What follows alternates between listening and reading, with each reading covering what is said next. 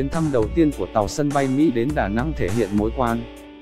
tâm trung về tăng cường hợp tác của cả Mỹ và Việt Nam. Tàu sân bay USS Convention, tàu tuần dương USS Lexington và tàu khu trục USS USS Wayne. E. Meyer của Hải quân Mỹ cùng 6.000 thủy thủ trưa ngày 5 tháng 3 vào vùng biển Việt. Nam ở Đà Nẵng, bắt đầu chuyến thăm hữu nghị kéo dài 5 ngày. Đây được coi là sự hiện diện quân sự lớn nhất của Mỹ ở Việt Nam kể từ khi chiến tranh kết thúc vào năm 1975. Giáo sư Can Thayer, Học viện Quốc phòng Australia, Đại học New South Wales, đánh giá khi đưa tàu sân bay đến Việt Nam, Mỹ muốn khẳng định sẽ duy trì sự hiện diện của Hải quân ở Biển Đông. Về phía Việt Nam, Hà Nội cho thấy luôn chào đón Hải quân Mỹ khi lực lượng này đóng góp vào bảo đảm hòa bình và ổn định ở khu vực. Việt Nam được chính quyền Tổng thống Mỹ chăm bảo đảm rằng họ sẽ tăng cường mối quan hệ đối tác toàn diện. Hà Nội phản hồi bằng cách chấp thuận tàu sân bay đến thăm kể từ sau chiến tranh, ông Thayer nói, trong họp báo chung với Chủ tịch nước Trần Đại Quang hôm 12 tháng 11 khi thăm cấp nhà nước Việt Nam, Tổng thống chăm cho biết Mỹ vẫn giữ vững cam kết vì một châu Á-Thái Bình Dương tự do và cởi mở, mong muốn các quốc gia trong khu vực tôn trọng chủ quyền của nhau tuân thủ pháp luật và thúc đẩy thương mại có trách nhiệm. Chuyến thăm đến Việt Nam cho thấy Mỹ có kế hoạch duy trì cam kết ở Đông Nam Á. Ông Thayer nói, ông Merzi Hibbert, Phó Giám đốc chương trình nghiên cứu Đông Nam Á, tại Trung tâm Nghiên cứu Chiến lược Quốc tế CSIS, Mỹ, đề cập pháo đài nổi của Hải quân Mỹ đến Đà Nẵng không lâu sau khi Bộ trưởng Quốc phòng Mỹ James Mattis đến Hà Nội vào cuối tháng 1. Điều đó cho thấy quan hệ Việt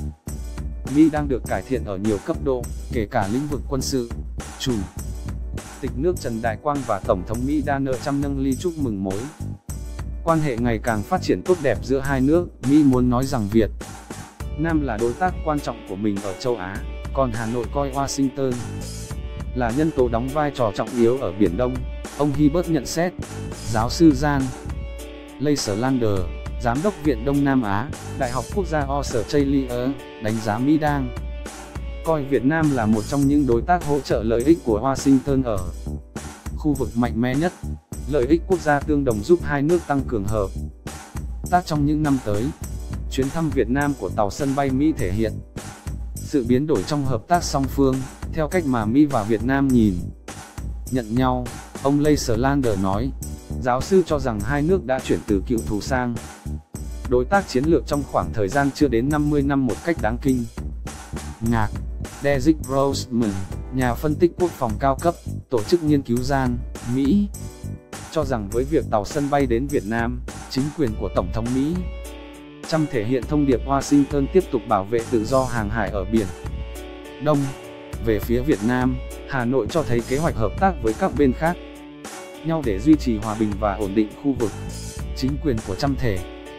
hiện rất rõ về sự cần thiết của hợp tác Việt-Mỹ ở Biển Đông, ông Grossman cho hay, Tổng thống Mỹ Trump và các lãnh đạo Việt Nam, bao gồm Chủ tịch nước Trần Đại Quang, Thủ tướng Nguyễn Xuân Phúc, khi gặp gỡ đều nhấn mạnh đến việc bảo đảm tự do hàng hải, giải quyết hòa bình các tranh chấp theo luật quốc tế. Chính quyền Mỹ cũng khẳng định Việt Nam là đối tác hàng hải quan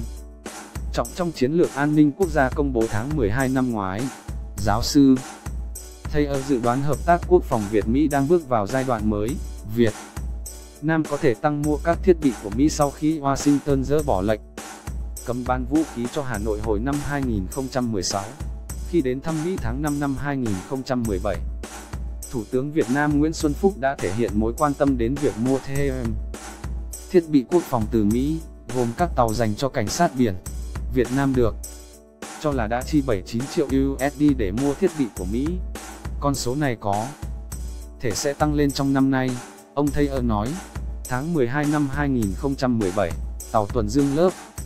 Hamilton Morgantown mà Mỹ bàn giao cho Việt Nam đã cập cảng Vũng Tàu. Tàu này mang tên CSB 8020 thuộc biên chế Cảnh sát biển Việt Nam. Đầu năm nay, Naval đây đưa tin lực lượng tuần Duyên Mỹ dự kiến loại biên tàu tuần tra Sherman và có thể chuyển giao cho Việt Nam theo chương trình bán trang bị quốc phòng dư thừa EDA, tỏ ra thật trọng về việc mua bán vũ khí giữa Mỹ và Việt Nam, ông Grossman cho rằng Việt Nam cần xem xét mình có thể hợp tác đến mức độ nào với Mỹ. Đồng thời cân nhắc về tính phù hợp của khí tài, duy trì sự đa dạng hóa. Các đối tác khác như Nga, Nhật Bản, Ấn Độ, tiến sĩ Lê Hồng Hiệp, chuyên gia tại Viện Nghiên cứu Đông Nam Á ISEAS, Singapore, nhận định chuyến thăm Việt Nam của tàu sân bay Mỹ thể hiện hai bên đã thấy thoải mái hơn trong các hoạt động hợp tác quốc phòng quy mô lớn.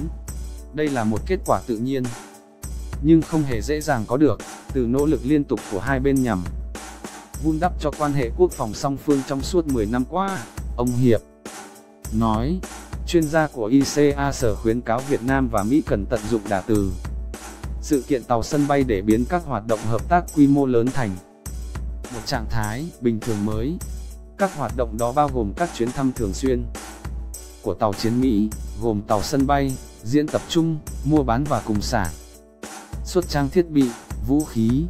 việc bình thường hóa và thể chế hóa các hoạt động. Hợp tác quốc phòng cấp cao sẽ giúp hai bên làm sâu sắc hơn và thực chất hơn mối quan hệ đối tác toàn diện, giúp hai bên đối phó tốt hơn. Với những thách thức an ninh mới phát sinh, Việt Nam và Mỹ không cần lo